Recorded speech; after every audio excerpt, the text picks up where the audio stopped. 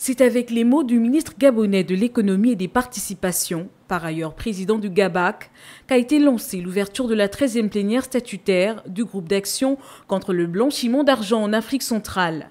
Maïs Mouissi n'a pas manqué de souligner la portée significative de cette plénière. Les présentes assises doivent nous permettre de nous arrimer à la tendance mondiale en recherchant l'efficacité à tous les niveaux de la lutte.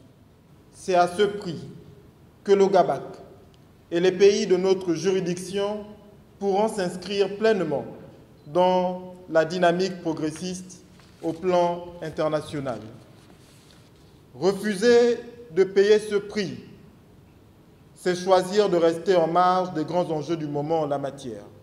Hormis une mise au point sur le fonctionnement du GABAC, cette rencontre a également permis de traiter plusieurs autres points. Nous avons adopté le budget, nous avons euh, proposer de nouveaux textes qui seront soumis à d'autres instances qui, pour le valider. Et tout ceci a vocation à renforcer la lutte contre le blanchiment et le financement du terrorisme au sein de notre communauté régionale.